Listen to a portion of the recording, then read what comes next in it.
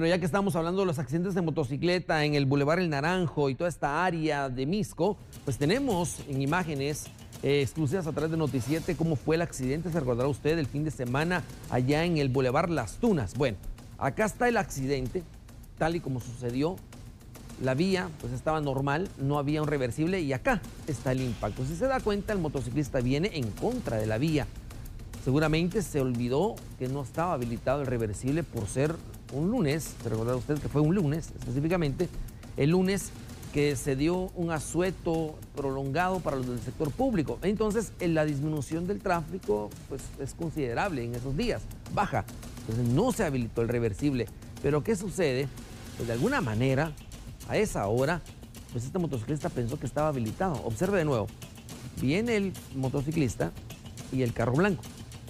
E incluso el motociclista intenta pasarse para el otro carril y el carro también para evitar colisionarlo. Pero siempre colisionan de frente y el motociclista sale expulsado pues varios metros después del accidente. Es increíble, es impactante la manera en la cual colisiona esto por o desconocimiento de los horarios o habilitación de los reversibles, poca información para trasladar en relación a qué días se habilita, qué días no se habilitan, eh, no ver la conificación que se ha colocado respectivamente en el lugar, acá está nuevamente, si son varios metros que sale expulsado. Eh, lamentablemente acá pues existen versiones por parte de las autoridades de tránsito en relación a lo que el juzgador tendrá que pues eh, en este caso de responsabilidades.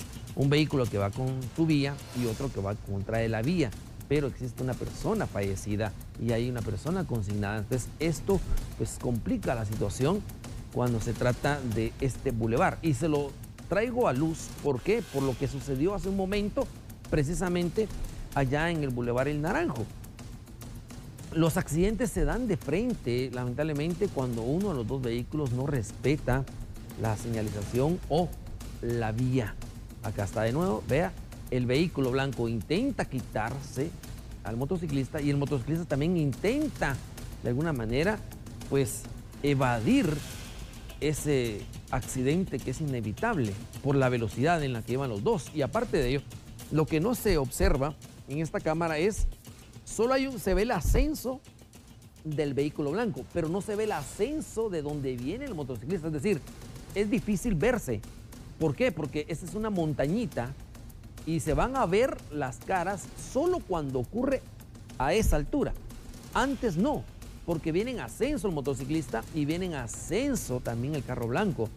Esto es lo que es inevitable. Ya no sabe usted qué viene de frente, porque realmente esta es una subida, es una cuesta pequeña, es una pequeña montañita que lo ubica hacia las fábricas o bodegas de las tunas viniendo de bosques de San Nicolás, viniendo de la Naoa, viniendo de colinas y planes de Minerva. Acá está nuevamente. Es difícil reaccionar. Aún así, el carrito blanco intentó reaccionar, pero también se desvió el otro motociclista de ese lado. Si se da cuenta, pasa un primer vehículo que lo logra evadir. Veamos las cámaras, si la producción me lo permite. Veamos nuevamente el paso. Se va a dar cuenta usted que el primer vehículo logra evadirlo antes de la colisión del blanco. Va a ver usted. Acá está. Pasa un vehículo, vea. Ese vehículo, ese vehículo va del lado derecho. Logró pasar. El blanco viene del lado izquierdo y es ahí donde sucede el problema. No estaba habilitado, según las autoridades de tránsito, no estaba habilitado el carril reversible, por lo cual el motociclista se imaginó que tal vez sí estaba habilitado y por eso venía en ese lado, porque ese es el carril reversible que se habilita todos los días, pero el vehículo venía en su vía. Así que gracias a la producción de Noticiete, gracias Mike por habernos trasladado ese punto exacto donde se observa la situación. Por eso le decía, por el impacto es muy difícil. La velocidad que alcanzan es 70 kilómetros por hora en este sector. lo mismo pasó ahorita en el Boulevard El Naranjo. Venía el vehículo en su vía y el motociclista se pasó al reversible y es cuando colisiona de nuevo. Los reversibles, ese es el peligro y el riesgo, el no tener claro cuándo se habilita, en qué momento se habilita y cuándo usted puede incorporarse al reversible. Este reversible Boulevard Naranjo inicia acá y termina un par de kilómetros antes del puente El Naranjo. Por eso debe de conocer muy bien el área, la jurisdicción, para conocer qué riesgos esto conlleva. Acá, lamentablemente, era muy difícil, solo que haya venido a unos 20 kilómetros por hora el vehículo, pero vea, los dos venían a alta velocidad. Uno descendiendo y ascendiendo en esta montañita y el otro ascendiendo y descendiendo en el mismo Boulevard Las Tunas. Complicado, lamentable, situación que se repite una y otra vez. Solo en lo que va de la semana van dos accidentes de motocicleta en el mismo sector, en el mismo lugar del Boulevard El Naranjo, conexión con Colinas Plenas de Minero.